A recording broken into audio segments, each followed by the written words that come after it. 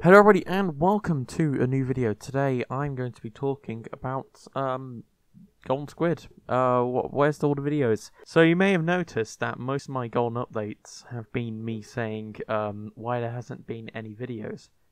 Uh because well I kind of had a bit of a break. So exam season ended around about 3 weeks ago.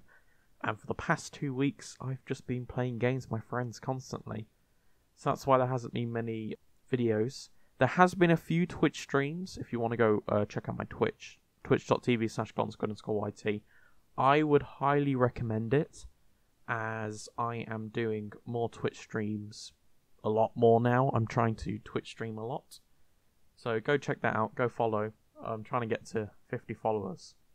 I'm at 36 at the moment. Go try and make that happen. You can make that little blob thing that sometimes appears on the stream if it wants to work sometimes it doesn't work because it's annoying.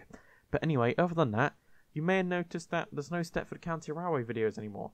That is because I have completed the game as of now. Uh, there is some few updates, uh, like there's another extension they've got planned updated soon, so that'll be uh, that'll be more routes I'll be able to drive on.